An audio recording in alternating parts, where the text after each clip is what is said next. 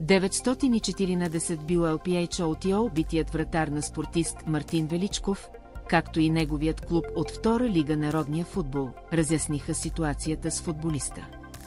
Новината за нанесените му травми от неизвестен извършител при катастрофа преди дни бе обвита в лека мистерия. Но ето какво пише сайтът SPORTIST по темата, преди няколко дни се случи неприятен инцидент с наш футболист. Вратарят Мартин Величков беше бит от неизвестен за сега извършител по време на посещение в спа-център в столичен хотел. Ръководството на клуба реши да не разпространява информация за инцидента, докато разследване от правоприлагащите органи.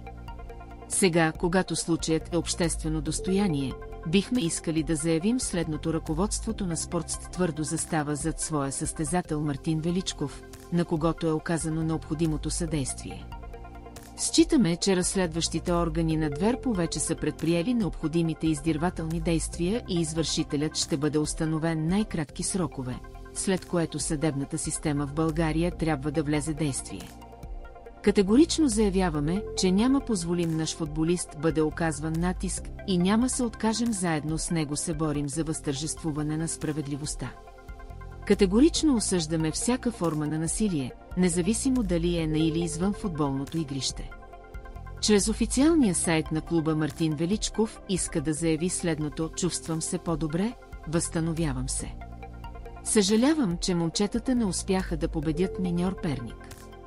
Стискаме палци да вземем трите точки. Следващата седмица се надявам да има повече яснота по моя случай. Наистина неприятен инцидент, но най-много съжалявам, че не успях да бъда на терена и да помогна на отбора. Няма да се откажа да търся справедливост.